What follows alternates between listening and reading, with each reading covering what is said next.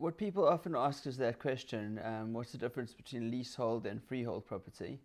Um, essentially, um, if you're a leasehold property, is if it's a block of flats and the freeholder owns the ground underneath it.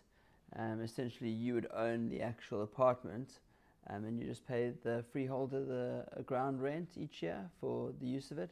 They can't actually buy that property from you. They don't own it. You own the title deed on land registry, um, but you've got a lease with them for between 125 and 250 years.